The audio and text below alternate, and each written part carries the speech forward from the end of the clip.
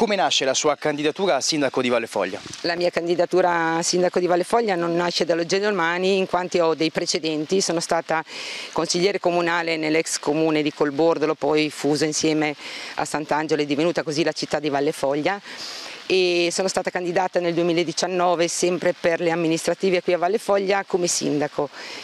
Diciamo che vivo il territorio, sono nata, risiedo qui eh, a Talacchio in una frazione piccolina del comune di Valle Foglia e ho sempre creduto in una comunità eh, legata e coesione tra tutte le persone.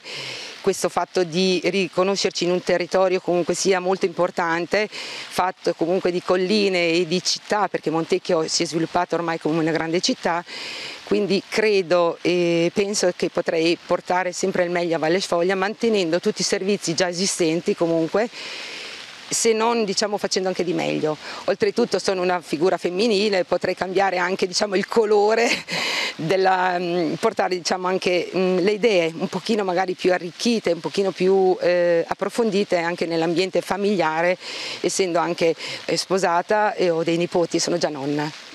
Parliamo della sua lista, una lista che all'interno presenta persone, nomi noti al territorio.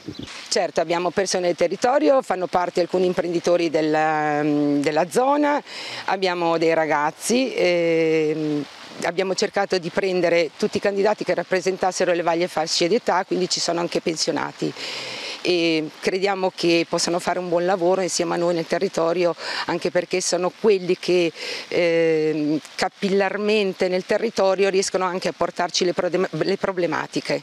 Quali sono i vostri obiettivi e quindi parliamo del programma elettorale? Puntiamo molto comunque sulla sicurezza visto che si parla molto spesso di microcriminalità nel territorio e contiamo di poter avere un'istruzione migliore nel senso di trovare collaborazioni, di portare un biennio ehm, di scuola tecnica nel territorio di Valle Foglia anche per agevolare il costo delle famiglie per il trasporto scolastico.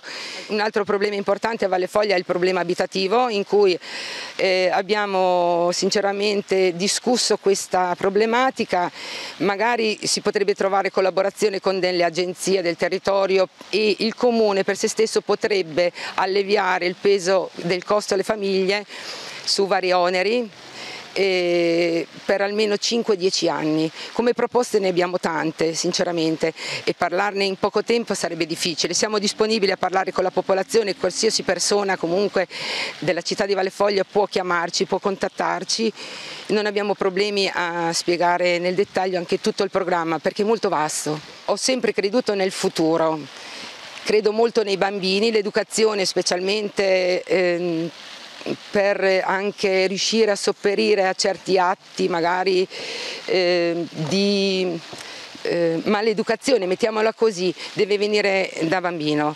I bambini hanno le loro famiglie ma come tutti sappiamo c'è un problema che la famiglia deve lavorare, quindi dei centri di, di aggregazione aperti a tutti, dai piccoli ai grandi, dove ci sia modo di riuscire a comunicare e a crescere con armonia tutta la cittadinanza. I bambini sono il nostro futuro, noi crediamo molto nei bambini e nei ragazzi, dobbiamo dare un futuro comunque sia alla gioventù di Valle Foglia.